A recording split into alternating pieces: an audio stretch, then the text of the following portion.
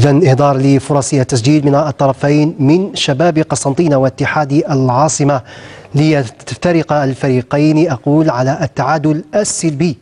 نتيجة لا تخدم كلا الفريقين الباحثان عن التقدم إلى مراكز أكثر تقدما في الترتيب العام.